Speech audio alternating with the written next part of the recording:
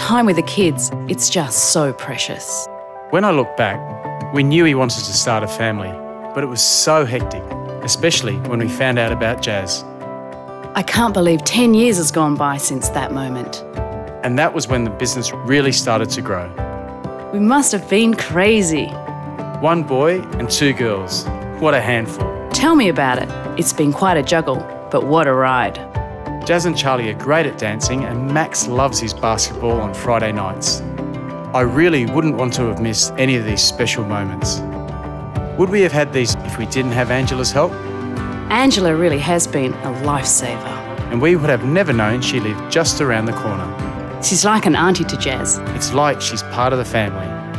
And it's great that Max is starting to think about picking up some work in the neighbourhood. Maybe it's his first step to become an entrepreneur, just like his mum.